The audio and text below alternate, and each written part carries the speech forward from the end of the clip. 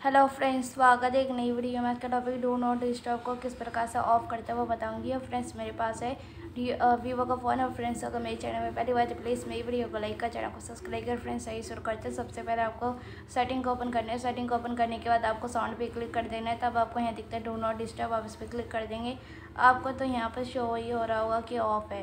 तो अगर इस पर क्लिक करते हैं, यहाँ से ऑफ़ करते हैं, तब उसके बाद बैक करते हैं। आप यहाँ पर देखेंगे ऑन हो चुका डू नॉट डिस्टर्ब तो इस प्रकार से यहाँ पे ऑन कर दीजिए तब आप यहाँ से बैक करते, तब आपका यहाँ से ऑफ़ हो जाता है, देख सकते हैं। तो इस प्रकार से डू नॉट डिस्टर्ब को ऑफ़ कर सकते हैं। और फ्रेंड्स प्लीज़ मेरी वीडियो को लाइक कर चैनल को सब्सक्राइब करें फ्रेंड्स तब तक ही नमस्कार।